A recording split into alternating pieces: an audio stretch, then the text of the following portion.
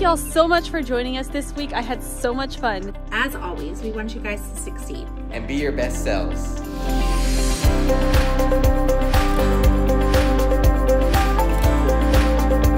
We may feel isolated, alone, and overwhelmed, but we will get through this together and come out a stronger nursing family on the other side. Thank you for being a part of the nursing family. Thanks for joining the nursing family all week. We love you guys. Now go out and be your best self today. Happy nursing!